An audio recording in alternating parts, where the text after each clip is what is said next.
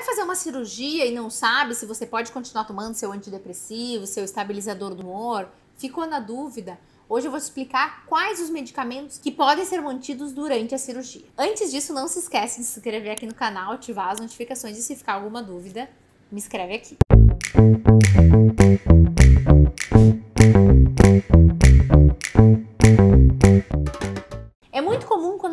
uma cirurgia, a gente fica na, fica na dúvida. Será que eu posso tomar meu remédio? Tomo no dia? Não tomo? Como é que eu faço? Esse é apenas um vídeo informativo, então eu sugiro que se você vai fazer uma cirurgia, você informe dos medicamentos que você toma para tirar a dúvida se pode ou não tomar. Mas a título de curiosidade, eu vou passar essas informações hoje. Então, medicamentos que a gente pode continuar durante o período operatório: anticonvulsivantes medicamentos antidepressivos da classe dos inibidores seletivos da recaptação da serotonina, antipsicóticos e Medicamentos que a gente precisa ter um certo cuidado. Antidepressivo tricíclico, então precisa avaliar. Então, dependendo da situação, conversa com o médico para ver como é que você vai fazer. E os medicamentos que a gente chama da classe dos IMAL, que são os inibidores da monoaminoxidase. Então, parece que ter um risco maior, então esses também precisam ser avaliados. Em relação ao lítio, de forma geral, pequenas cirurgias onde eu não vou ter grandes perdas de líquidos, mantém-se o lítio. Quando eu vou ter uma cirurgia com potencial de perda de líquido,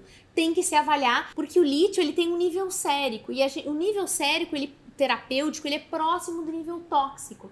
Então, como eu vou perder líquido, pode aumentar a minha concentração de lítio no sangue. Então, tem que ter cuidado e conversar com o médico. Vai fazer uma cirurgia grande, toma o lítio, avisa pro teu médico para vocês combinarem qual é a melhor alternativa alguns pontos importantes para destacar. Em relação aos antidepressivos serotoninérgicos, aqueles que agem na serotonina. Como existe um risco maior de sangramento, apesar de ser pequeno, pode acontecer, muitas vezes eu vou ter que avaliar esse paciente. Por isso que é só uma informação, né? Você vai ter que conversar com seu médico. E em relação ao antipsicótico clozapina, como ele pode também dar uma alteração em relação à anestesia, alteração da condução cardíaca, também precisa ser avaliado individualmente. A orientação é: sempre converse com seu médico e informe os medicamentos que você está tomando. E aí, se eu vou interromper, se eu vou uso alguns medicamentos que eu preciso interromper, como é que eu vou avaliar quanto tempo antes? Depende da classe da medicação. Por exemplo, os inibidores da monoaminoxidase, de forma geral, se eu vou interromper ele antes da cirurgia, eu preciso de pelo menos duas semanas. Os outros medicamentos a gente fala em cinco meias vidas. Tempo de meia vida do medicamento vezes cinco. Então, por exemplo, se ele tem uma meia vida de 24 horas,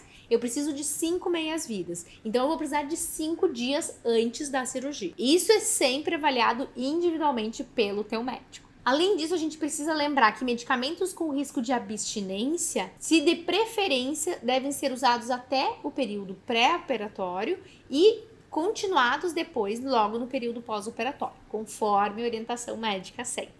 Bom, essas são as principais orientações sobre quais medicamentos eu posso tomar ou não antes da minha cirurgia. Você fez alguma cirurgia há pouco tempo? Você parou seu antidepressivo? Parou com seu estabilizador do humor?